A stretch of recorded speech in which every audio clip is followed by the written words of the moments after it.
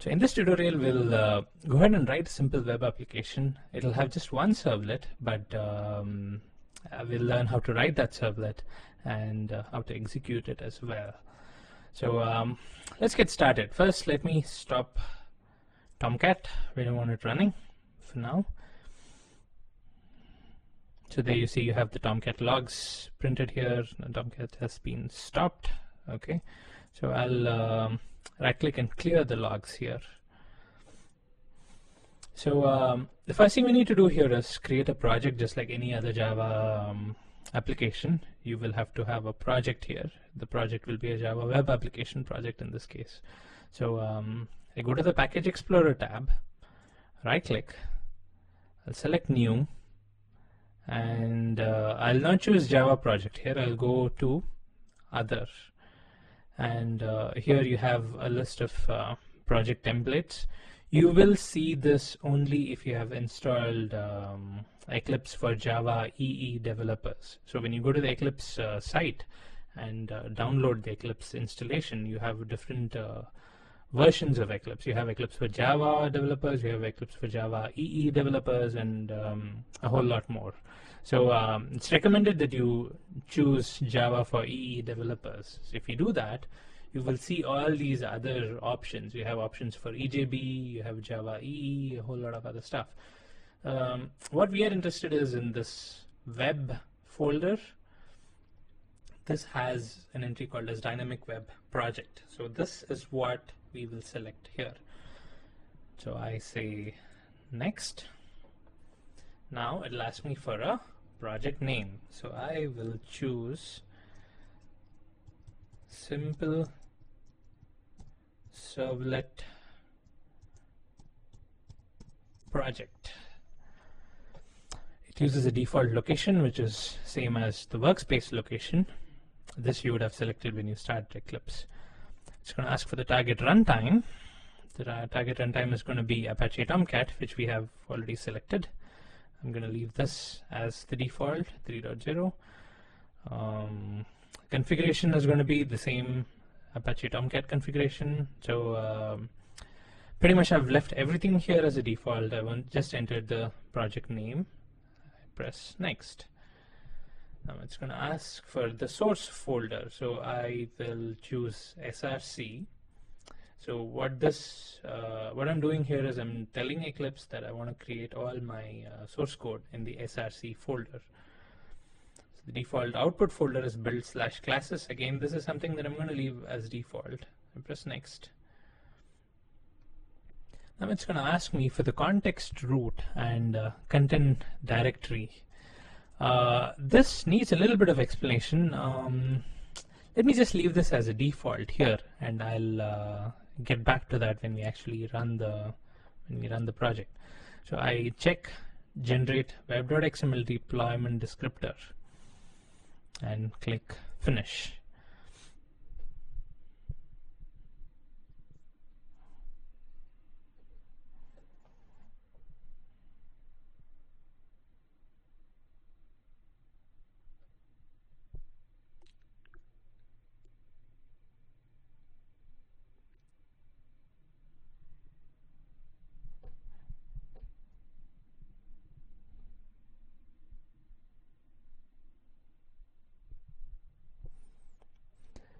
Okay, now it's going to ask that um, this kind of project is associated with the Java EE perspective. Do you want to open that? Yes. A perspective is nothing but a layout of tabs. It you know it uh, chooses a particular set of tabs in a particular uh, layout. So um, it's it's convenient if you have the Java EE perspective. So um, we're going to select the servers tab here. So uh, here is our project we have uh, quite a few nodes here which we are not really concerned about initially. The one that we are concerned about you know to start off with is this node called the deployment descriptor. This is actually an XML file. Let's uh, let's open up the navigator as well. Go to the window show view navigator so this is this is how uh, the files are actually organized in the file system so um, dot class path and dot project are uh, metadata for Eclipse to manage this project. So um, expand this web content folder, webinf. You see this web.xml file. Just double click on this. That's showing um, the XML view. I'll go for source. There you go.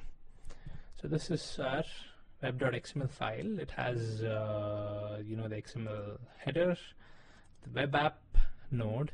Inside the web app node, you have something called as a display name, which is simple servlet project. And it also has something called as a welcome file list. It has uh, quite a few HTML and JSPs, index, default, and so on. That's about it.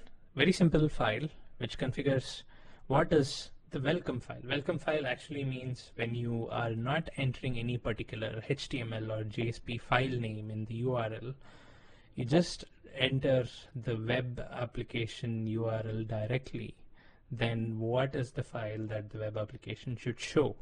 So we have a few files specified here. It, if it finds any one of these files, it's going to show that.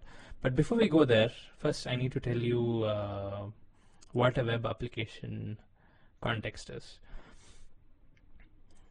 When we configured this, we entered two values.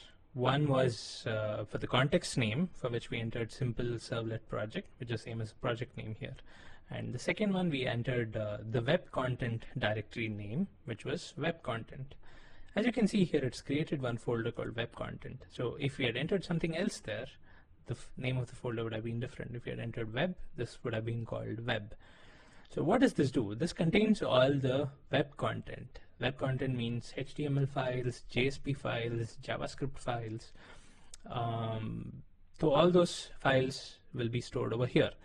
So um, let me do one thing. Here, it, you know, you have a list of uh, welcome files, right? So what it's trying to do here is uh, it's trying to find one of these files here. Uh, we don't have any such file, so let's let's go ahead and create one. So I'm going to right click, new, and um, I'll choose other HTML file. Next, I'm to give the file name. I'll give index.html.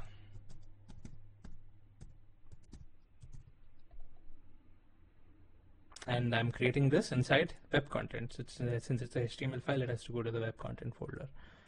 I'll say next. I'll leave this as default. I'll say finish.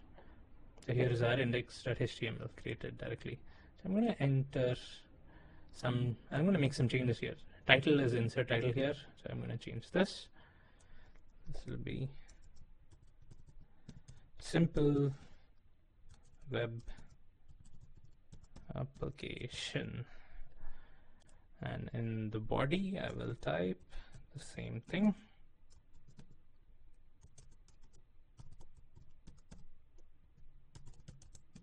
and says hello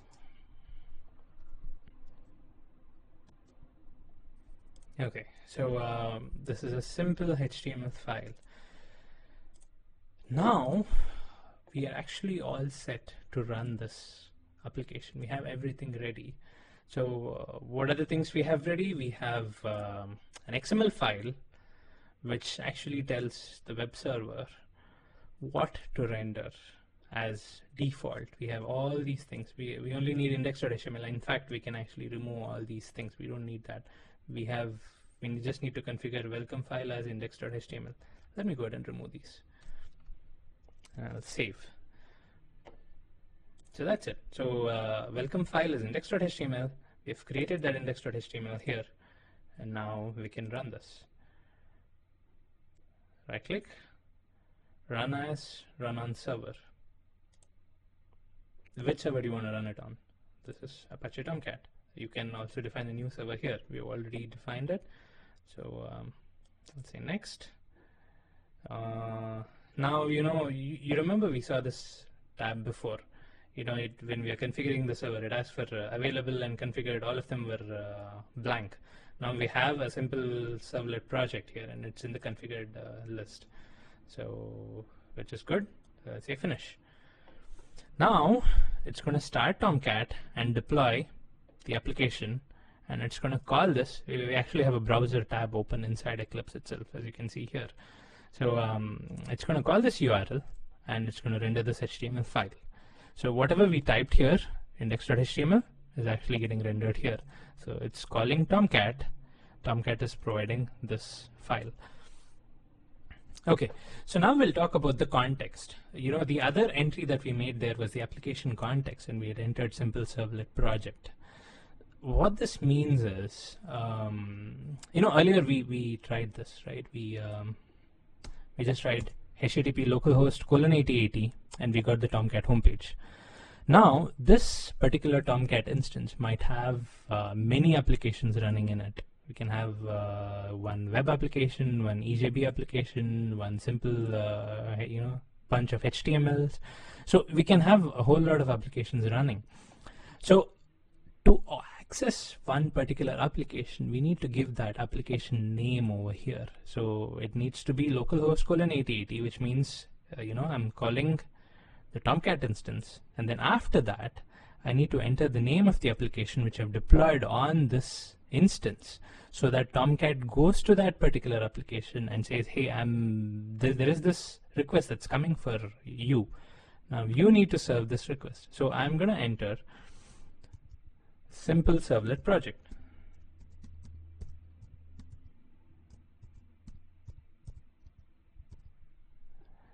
Since this is the the context root which we had configured when we you know uh, created this project, this is what this is this is the application that Tomcat will call when you enter this. If you have another application installed on the uh, same Tomcat instance, you need to give that application name. So when I pre press enter, now this application is called and uh, when this application is called, you don't have any resource here. You don't have slash index.html or anything like that. So what Tomcat does is it goes to web.xml and it looks for the welcome file list. You know, here you have configured one welcome file, which is index.html. So uh, it pulls that up from the web content folder. Again, this is another thing we configured earlier. It's going to pull up index.html. It finds it and it renders it. Now, say index.html was not there. Some um, we had few other files, and we had configured all those in the welcome list. You know, where there were a few other files here.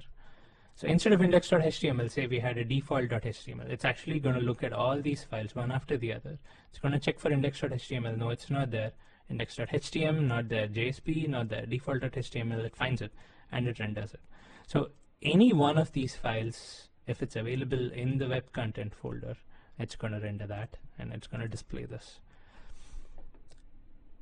So now we have actually created a web application which actually doesn't do anything much. It just has a HTML file. Let me save this index.html now the next step is to actually create a servlet which runs this HTML is static content. You know it, uh, the Tomcat isn't doing much. It's just uh, just pulling up the file and it's just sending it to the client side. Now let's say I want to I want to run a Java program.